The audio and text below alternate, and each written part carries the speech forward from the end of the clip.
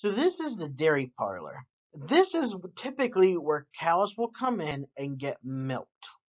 So what happens is a cow's every morning, typically it's twice a day. So every morning and every evening, the cow will get in line and they will go to their own stall or stanchion.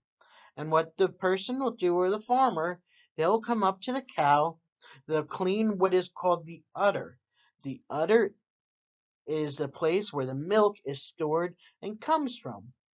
They'll put the machine on the udder, and the machine will use mechanics and it will suck the milk out of the udder.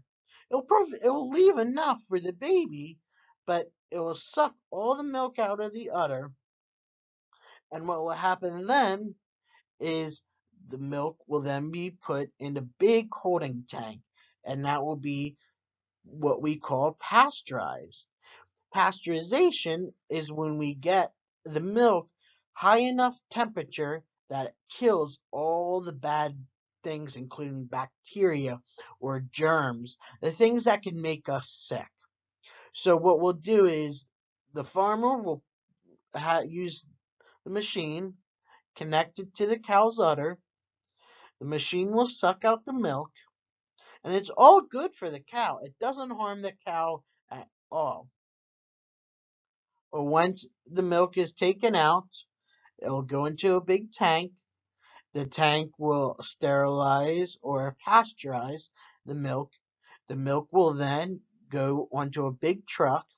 The truck will then take it to a big facility where they will pasteurize it and then they'll start bottling it. They'll put it in a carton and then they take it to your store or the store will come pick it up.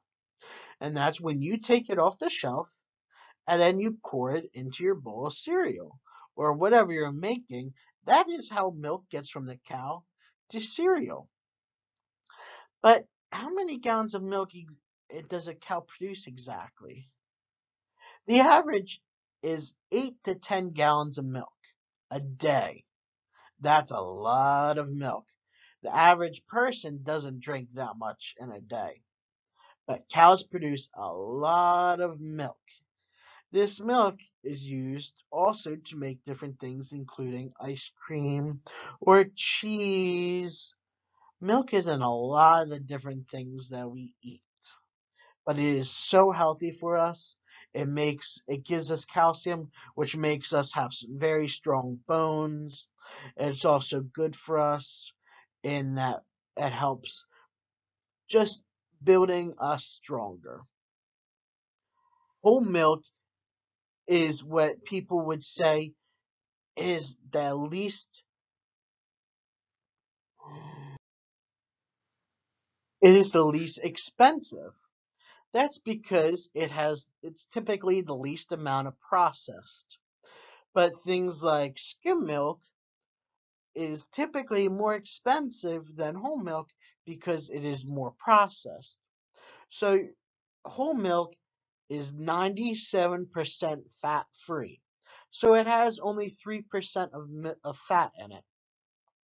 Skim milk has 0% of fat. But the thing is, whole milk also is a lot more creamier than skim milk. Me, I preference whole milk because it adds a lot more creamier to it. But then higher fat would include things like cream that you would pour into different drinks, including coffee, or whipped cream, which is very heavy cream that is whipped really fast so it adds air and it makes the whipped cream. Cream or milk is very important in all of our diets, and I hope you drink more of it because it is so good for us.